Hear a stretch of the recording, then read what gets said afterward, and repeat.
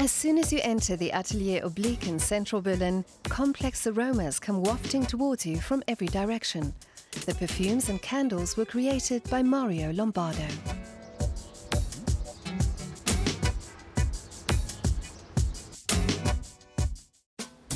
Mario launched his brand in 2016. His perfumes have names like Closer and Marble Sea, for which he drew inspiration from the ocean.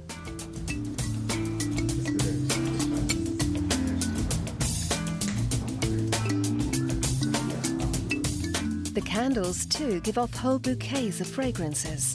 One smells of sea salt and vanilla, another like strawberry punch, yet another like roses and wood. A qualified graphic designer, Mario also creates their look. Was ich mit der Arbeit erzähle, ist die Reise meines Lebens. I want my work to tell about my life's journey, along with all that happens in life. From sadness to joy, big and little feelings, the birth of a baby. All these things go into it. Every candle is given a letter, and Mario has come up with a story for each. D, for example, is a nice day. Very simple. F is the moment you realize you share your feelings, for example, when you fall in love or jump into the sea together and the cold runs all through you. That's worked into it. G is the birth of a child. Of course, that's biological, and everyone can relate to it. But it's still the greatest miracle in the world. He develops his scents together with the Robertet perfume factory in Grasse, France. Robertet is world leader in natural odorants. The company creates fragrances and scents from hundreds of thousands of blossoms and other raw materials. The blossoms are placed in distilled water and alcohol. The essential oils form the basis of perfume production.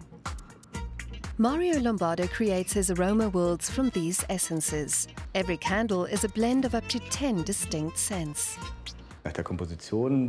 An aromatic oil is created that has to mature for at least three weeks. And then we give it to the candle maker, who's in Germany. Then it's very gradually poured together with an oil that's not too hot. Mario runs his company with his partner Vanessa Albrecht.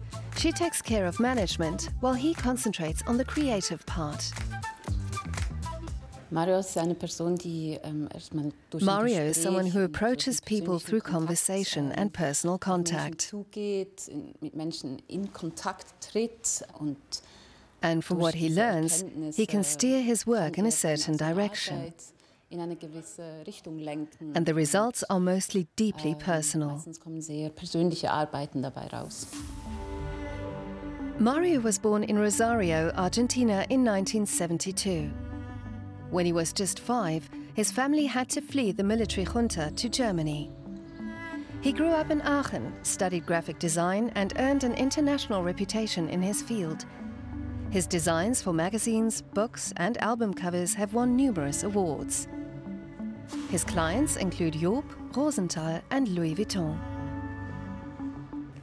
Ähm, in my graphic design work, I've always included many different things. Sometimes I made them by hand and photographed them. Another dimension was a definite scent for a book, but I never seemed to get a chance to develop it. Then, through a friend, I got an opportunity to work on perfumes. I took it, and that was just the best. Mario has lived in Berlin since 2008. He often stops in at the Altes Europa Cafe on his way home. He loves the vintage interior, which, along with something else, reminds him of Argentina. There's a scent that's associated with Berlin, and you can find it in Buenos Aires too. And that's all the linden trees. In the summer, it smells just the same there as in Berlin. And when you walk through the streets, you think, this is my home. Mario Lombardo has found his home in Berlin and created his own world of fragrances.